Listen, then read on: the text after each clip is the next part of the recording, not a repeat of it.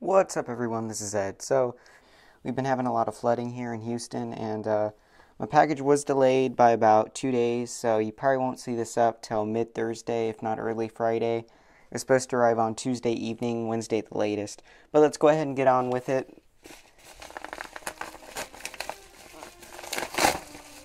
Alright, so we have Zettai Karen, Children, The Unlimited Hyobu Kyosuke, or Unlimited Psychic Squad. I watched this about, I think I've seen it like two or three times, and I watched it on Crunchyroll, and it's awesome. I love this series. It's really good. I highly recommend it. Uh, it's only 12 episodes, uh, but it is uh, really good. It's Esper, so keep that in mind. Um, so next package is Sorry if I take the uh, package out of focus, by the way. Uh, using uh, my phone.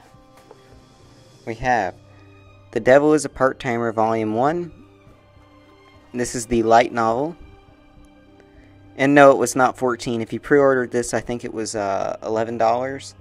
Uh, great value, if you ask me, and it's awesome. I highly uh, recommend this series. as a great anime adaptation, even though it's only 12 episodes.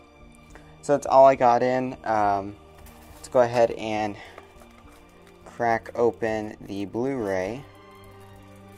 So I will probably do a jump cut right here.